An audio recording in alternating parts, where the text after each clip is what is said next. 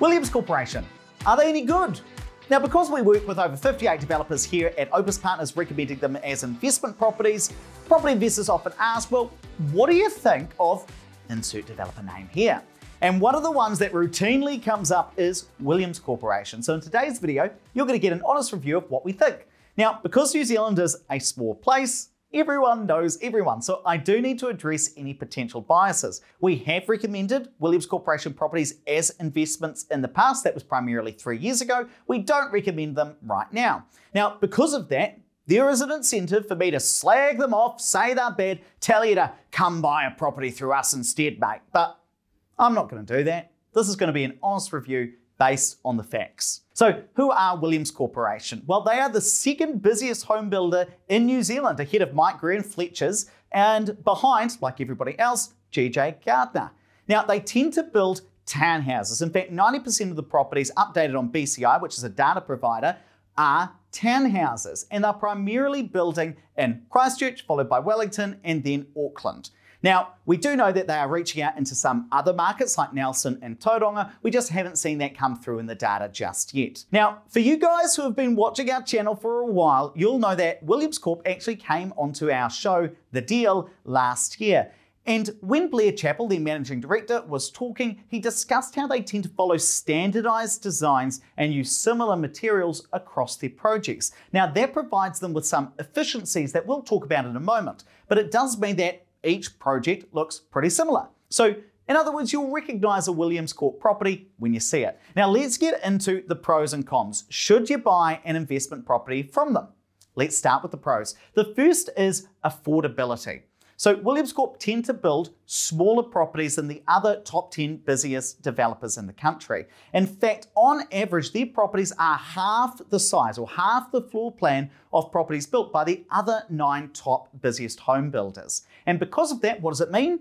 Well, their properties are more affordable to build. So the average construction cost of a Williams Corp property is 58% lower than the other average of the other top nine developers. Now, let me be clear, that doesn't mean that you're going to be able to buy a property 58% cheaper if you go through Williams Corp compared to somebody else. But it does mean, or it does give a broad indication that their properties are going to be on the more affordable side.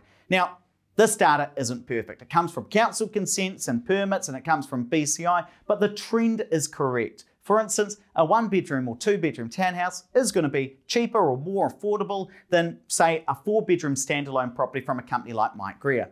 The second thing I'd say is they have good use of space. So I've stayed in one of them before as an Airbnb, and even though the floor plan is small, it often uses space well. And the third thing I'd say is they've got a bit of grunt behind them. They've got some scale, they've got a team, they've got some standardized processes. Now that lowers the risk that the property isn't going to be complete. In other words, because they've built a lot of properties before, they stick to the stuff they know, they can deliver in a good time. Now, let's talk about the other side, some things that you want to consider, especially as a property investor. Often we see that they are expensive for what they are. Now, you're probably think, Ed, you just told me that they're really affordable. What do you mean? Well, something that costs $20 is relatively affordable. But if I said it's $20 for a cup of coffee, you'd say, Ed, that's a really expensive cup of coffee. And so I want to dig into their properties and what they're selling as of today to give you an example of what I mean.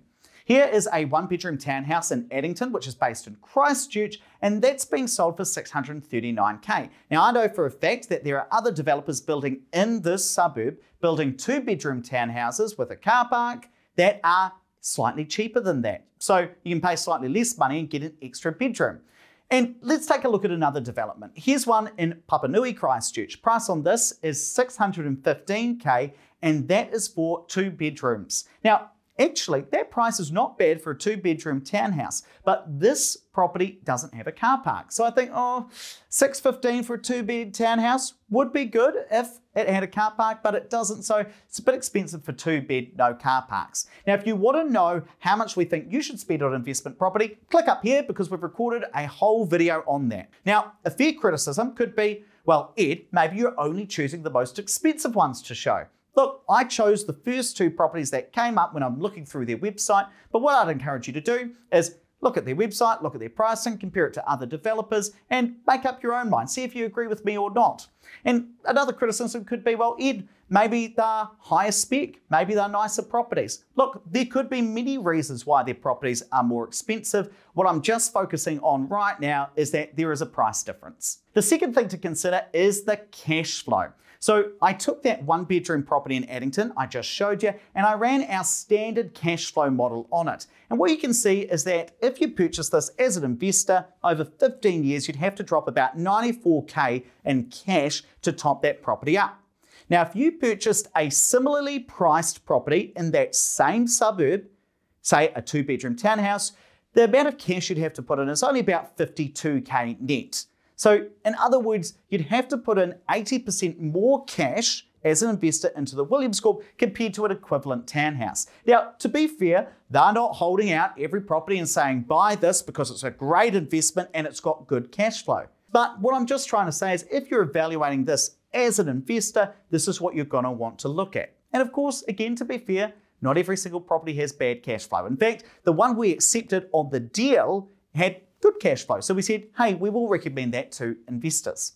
The third thing to think about is any questions around the future capital appreciation, the property increasing in value. And I think there are some valid questions that investors often raise with me.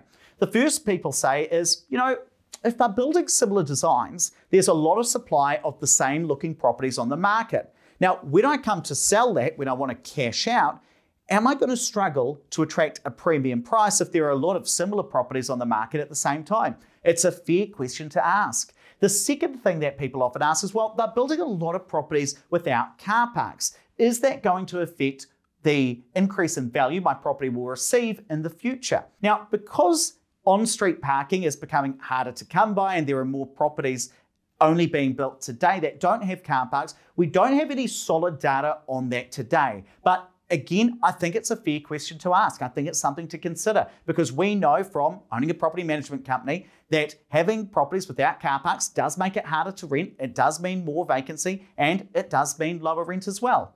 Look, again, doesn't mean that everything's a bad investment. It just does come down to the individual deal and you'll want to assess what it means for you. Now, let's wrap up by talking about who they're the right fit for, who they're perhaps not the right fit for. I think they can be a really good fit for owner occupiers. So I've got a friend, lives in Wellington, and she bought her first home, a one bedroom Williams Corporation townhouse. And she loves it because she was able to afford her first property. And that's a great thing. The fact that they're building a one bedroom townhouse and that is what some people can afford and that's what they want to live in, that's a great thing. Now, on the other side, would that property have been the right fit for a property investor? It wouldn't have been if you ran the numbers. So often can be a good fit for owner occupiers. You want to analyze the individual deal for property investors. Often I've found not the right fit. Now, I don't want to come across as too negative because there are some real pros to Williams Corp property. They're relatively affordable, they have good use of space, and there's a bit of grunt behind the company. But look, not every Williams Corp property is going to be right for everyone. Now, what I want to know is what do you think of Williams Corporation? Do you like them? Do you not like them? Let me know in the comments section below. And also let me know any other developers you'd like us to do an honest review of. And while you're down there, make sure you hit the subscribe and the like button and toggle that little bell so that you get notified about all our future videos.